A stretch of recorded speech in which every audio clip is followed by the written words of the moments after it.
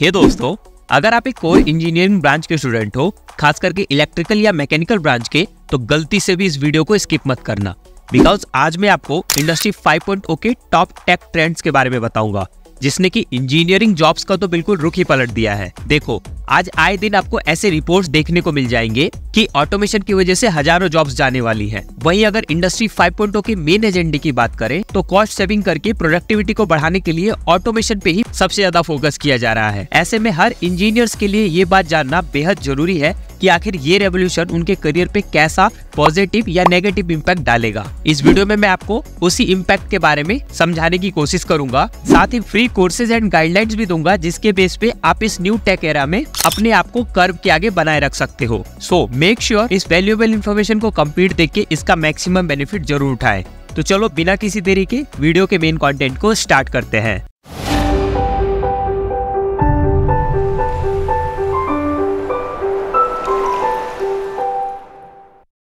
सोचो जरा कैसा हो अगर इंडस्ट्री का फ्यूचर न केवल मशीनों के लिए, बल्कि हमारे लिए भी हो, यानी कि ह्यूमन बींग्स कैसा हो, अगर हमें मशीनें रिप्लेस ना करें, बल्कि हमें रिपोजिशन करें। देखो, आज हमारे इस रैपिडली इवॉल्विंग वर्ल्ड में ऑटोमेशन की वजह से नौकरी के खत्म होने का और ह्यूमन वर्कर के ऑब्सोल्यूट होने का डर साफ़ देखा जा सकता है। बट क्या हो, अगर हम अपने नज़रिए को बदले, यानी कि टेक्नोलॉजी को अपने रिप्लेसमेंट का कारण ना बनाकर, इसे अपने एबिलिटी को बढ़ाने का एक टूल माने। सोचना जरा इस बात पे। जानते हो इंडस्ट्री 5.0 का जो मेन प्रोपोजिशन है, वो यही है, जिसमें की ऑटोमेशन और इंडस्ट्री में ह्यूमन सेंट्रिक अप्रोच को बढ़ावा देने की बात की गई है। अगर आपको इंडस्ट्री 5.0 को पूरी तरीके से समझना है तो इसके लिए आपको इंडस्ट्री 4.0 को अच्छे से समझना होगा। बेसिकली इंडस्ट्री 4.0 2011 में इंट्रोड्यूस हुआ था, जो कि एक ऐसा समय था जब इंडस्ट्री लैंडस्केप में एक ड्रास्टिक चेंज देखा गया, जिसका मेन फोकस था digital transformation efficiency and performance को बढ़ावा देने के लिए इंडस्ट्रीज़ में स्मार्ट मशीन एंड रोबोट्स को लेवरेज दिया जाने लगा, जिसकी वजह से जॉब्स पे बहुत बुरा असर पड़ा। Overall it's all about automation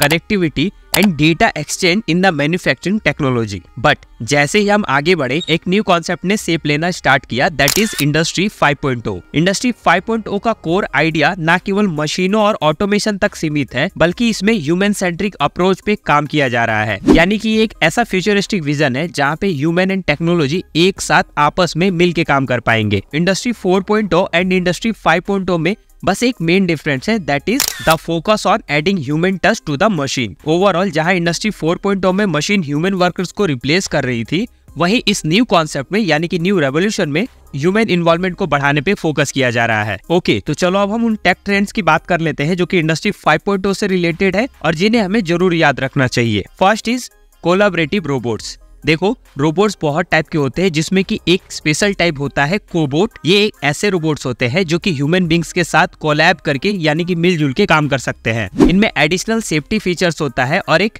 human intelligence होता है। ताकि ये बिल्कुल ह्यूमन की तरह बिहेव करे जिससे कि ह्यूमन लेबर की एफिशिएंसी को बढ़ाया जा सके। ऐसे रोबोट्स में generally AI, machine learning and data science जैसे टेक्नोलॉजी का यूज़ किया जाता है। सेकेंड टेक ट्रेंड है सस्टेनेबिलिटी इंडस्ट्री 5.0 में न केवल इंडस्ट्री के ग्रोथ के बारे में सोचा जा रहा है बल्कि कैसे हम इस प्लेनेट को सेव कर सकते हैं यानी कि अपने इन्वायरमेंट को बचा के रख सकते हैं उस पर भी खासा ध्यान दिया गया है जिसकी वजह से green energy and sustainable energy resources पे फोकस किया जा रहा है। इस कॉन्सेप्ट में मेनली रॉ मटेरियल सोर्स को एनालाइज करना वेस्ट जनरेशन का प्रोपोर्शन करना और इंडस्ट्री की वजह से इन्वायरमेंटल इम्पैक्ट को कम करने पे फोकस किया जा रहा है। थर्ड मेजर चेंज फैक्ट्रीज को लेके है दैट इज़ स्मार्ट फैक्ट्री यानी कि जैसा कि इंडस्ट्री 4.0 में जो जो डिजिटलाइजेशन के कॉन्सेप्ट थे, उन सभी को इंडस्ट्री 5.0 में भी कैरी फॉरवर्ड किया जाएगा बट इसमें टेक्नोलॉजीज़ को एडवांस लेवल पे यूज़ किया जाएगा like IOT machine learning artificial intelligence cloud computing cyber security and many more